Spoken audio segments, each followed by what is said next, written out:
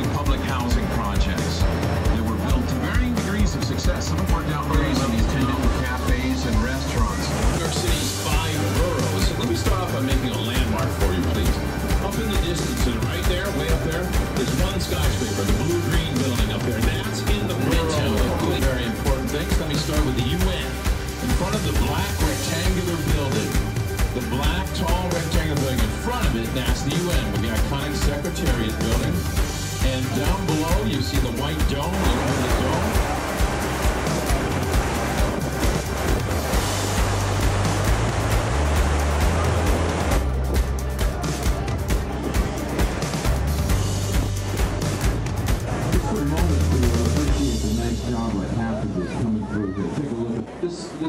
Here because it was one of the, uh, because it was an absolutely incredible tribute to the Greeks and the Romans because the Greeks created democracy.